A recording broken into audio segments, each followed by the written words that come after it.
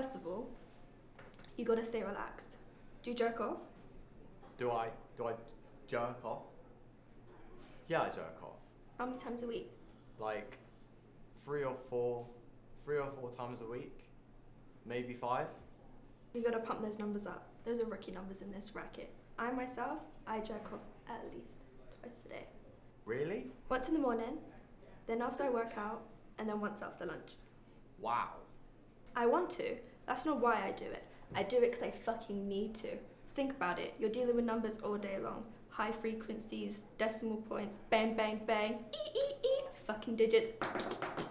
It's all above the shoulders mustard shit. Alright?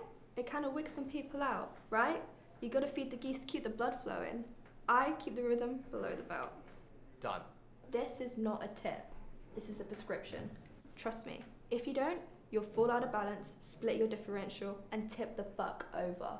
Or worse yet, I've seen this before. You'll implode.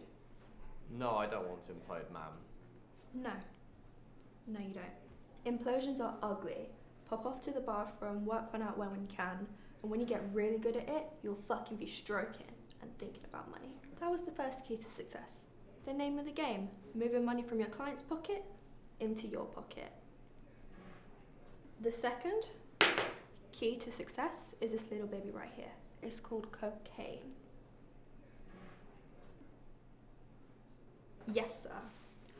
Revolutions. Keep the clients on the Ferris wheel. The park is open 24 7, 365, every decade, every goddamn century.